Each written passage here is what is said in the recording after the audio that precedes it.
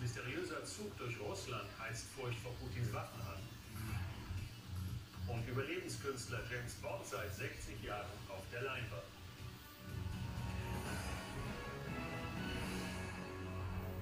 Im Studio Michael Marx. Willkommen bei Newstime. Gaspreisbremse, Abwehrschirm und noch dies und das als Entlastung gegen Energiekrise und Horrorinflation. Die Versprechen der Politik sind groß, die Erwartungen der Menschen auch. Der Geldbedarf für den vielbeschworenen Doppelwumms erst recht.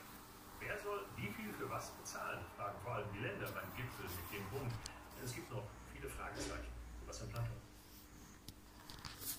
Weitere Entlastungspakete für Bürger und Unternehmen und eine 200 Milliarden Euro Preisbremse für Gas und Strom. Der Kanzler klopft und muss den Chefs und Chefinnen der Länder jetzt erklären, wie sein Doppelbums im Detail aussieht. Vorab lobt er seine Maßnahmen. Insgesamt ein sehr ausgewogenes, ein sehr kluges, ein sehr entschiedenes Paket, das aber dazu dient, die Preise so lange unten zu halten und erträglich zu halten für die Bürgerinnen und Bürger, für die Unternehmen, wie es diese Herausforderung gibt. Die Länder drängen jetzt vor allem auf Geschwindigkeit. Die Gaspreisbremse etwa müsse so schnell wie möglich kommen. Wir haben keine Zeit mehr, es muss rasch gehandelt werden. Wir brauchen eine Gaspreisbremse, die am besten noch im Oktober in Kraft tritt. Es darf aus einem Wumms kein Wümschen werden, sondern es muss jetzt endlich gehandelt werden. Das gilt auch für die zusätzliche Hilfe über das Wohngeld, die der Bund groß angekündigt hatte. Jetzt müsse er diese dann bitte auch alleine bezahlen, so die Länder. Mehr Geld wollen die auch für einen möglichen Nachfolger des 9-Euro-Tickets. Die bisher vom Bund angebotenen Milliarden Euro sind ihm zu wenig. Die große Resonanz zeigt, wie wichtig so ein Ticket ist, wie sehr die Menschen das brauchen. Und es ist nicht nur für bessere Mobilität und Klimaschutz, sondern auch für soziale Teilhabe, echte Entlastung in der Bevölkerung. Umso wichtiger, dass wir eben ein solches Anschlussticket auch bundesweit bekommen. Der Krieg in der Ukraine treibt zudem die Flüchtlingszahlen wieder hoch. Die Länder fordern daher auch hier zusätzliche Finanzhilfen vom Bund für die Unterbringung der Geflüchteten. Angriffskrieg gegen die Ukraine halten die Probleme von Russland an der Front offenbar an. Bei der Gegenoffensive vermeldet Kiew Schritt für Schritt Erfolge. Atomdrohungen des russischen Präsidenten kritisierte Außenminister Baerbock dabei als Erpressungsversuch. Zuvor hatte Spekulationen über einen vermeintlichen russischen Zug mit atomaren Waffen Richtung Ukraine gegeben. Nur eine Militärübung oder atomare Eskalation. Dieses Video von einem Zug vollgeladen mit schwerem militärischem Gerät auf dem Weg in die Ukraine sorgt für Aufregung. Im Bild angeblich Fahrzeuge einer russischen Spezialeinheit, die für die Bereitstellung von Waffen für die strategischen Raketentruppen zuständig ist, also auch für Atomwaffen. Was wir sehen können, sind gepanzerte Radfahrzeuge mit einer 30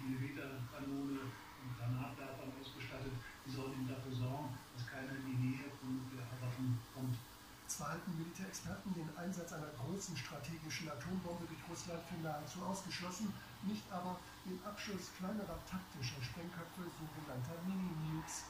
Werden diese dann zum Beispiel in der Luft über feindliche Linien in einer Stadt gezündet, würden sich tödliche Strahlung, Hitze und Zerstörung nur über ein begrenztes Gebiet verteilen. Besonders nach den jüngsten Niederlagen der Russen und den Problemen bei der Teilmobilmachung sieht Putin möglicherweise nicht mehr allzu viel Alternativen, steht unter Zugzwang. All das führt dazu, dass man natürlich über diese Option nachdenken muss.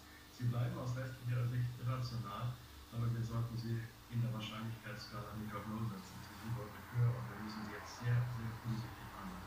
Zumal zeitgleich mit dem Zug nach Erkenntnissen der NATO ein hochmodernes russisches Atom-U-Boot seinen Stützpunkt im Weißen Meer verlassen haben soll und sich auf dem Weg in die Arktis befindet.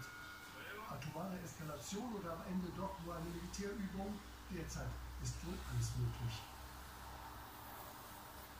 Auf bis zu 230 Sachen beschleunigte er seinen 510 PS starken Sportwagen betrunken seinen Kumpel zu zeigen, wie schnell er kann. Deswegen starben beim Frontalcrash auf einer Bundesstraße in Brandenburg zwei Menschen, zwei weitere wurden verletzt. So der Vorwurf der Staatsanwältin, die einen 24-jährigen mutmaßlichen Raser in Neuruppin nun wegen Mordes anklagt. Frau Halil.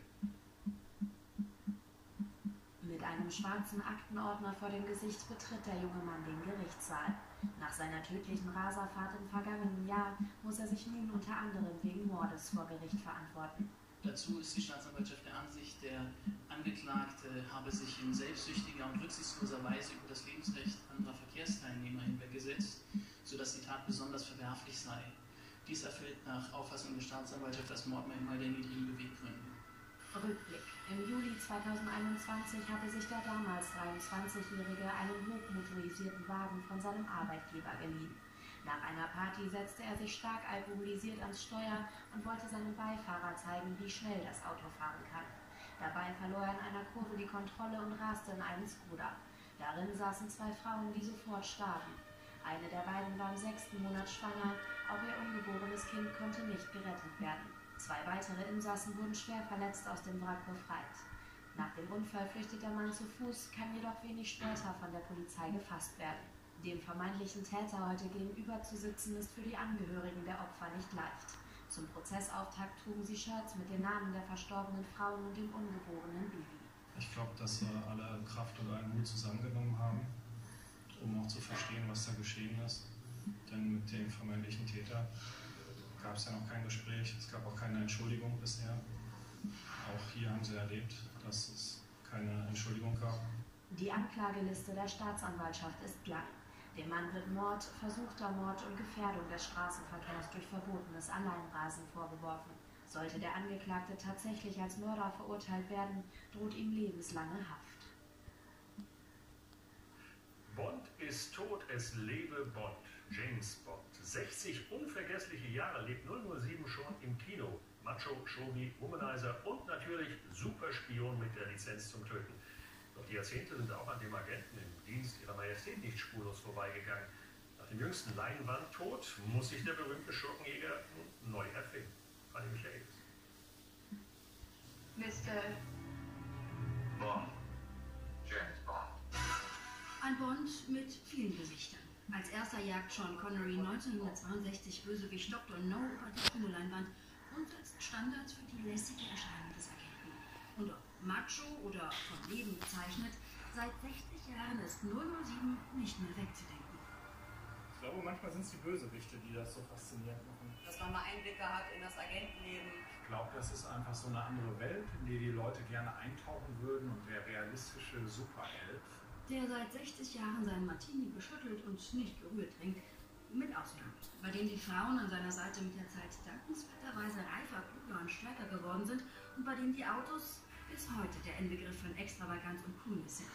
Der Nachbau eines Aston Martin DB5 ist erst vor kurzem für mehr als 3 Millionen Euro versteigert worden und auch bei der Bond-Ausstellung in Wattenscheid, der wahren Geburtsstadt Bonds, darf der Morris Minor aus Thunderball nicht fehlen. Genauso wie die Bond-Filme in unserer Gesellschaft nicht. Bond-Filme sind schon Ikonen der, der Zeit jeweils gewesen. Wenn man sieht, die haben einige, äh, viele Darsteller hier weltberühmt gemacht. Und Craig war ja vorher als James Blunt wurde er benannt oder ein bisschen verspottet. Äh, eher unbekannter Schauspieler in England, also der wurde durch James Bond halt einfach weltberühmt. Und wer soll nach seiner Rente nun die Welt retten? Ja, ich glaube, es wird eine Jane Bond. Fast. Ich glaube nicht, dass es eine Frau wird. Ich glaube, Idris Elba könnte es werden. Nein, der ist nicht interessiert. Die Produzenten haben angeblich auch noch nicht weiter gecastet. Und wer auch immer es wird, der neue Bond steht ab sofort seit dem Tod der Queen wohl nicht mehr im Dienste ihrer, sondern seiner Majestät. Und noch kurz zum Wetter. Das startet morgen im Süden mit Nebel. Tagsüber wird es aber verbreitet dann recht schön, nur an den Küsten bewölkt. Am Abend fällt an der Nordsee etwas Regen und es gibt bis zu 25 Grad im Südwesten. Das war's von Newstime. Einen schönen Abend auf ProSieben und bis morgen, wenn es wird. Tschüss.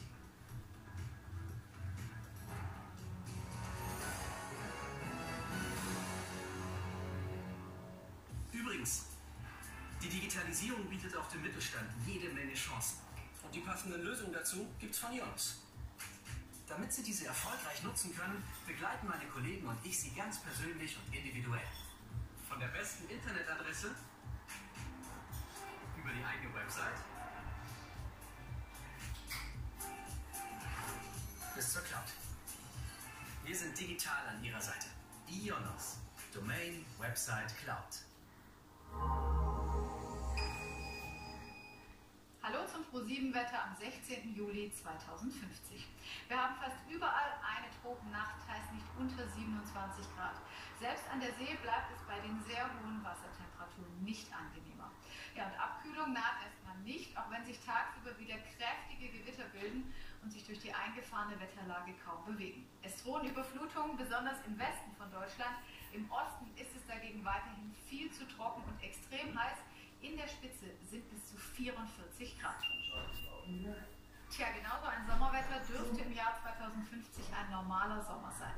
Daran werden wir uns gewöhnen müssen. Wenn wir gleich viel CO2 wie aktuell weiter ausstoßen, haben wir in 30 Jahren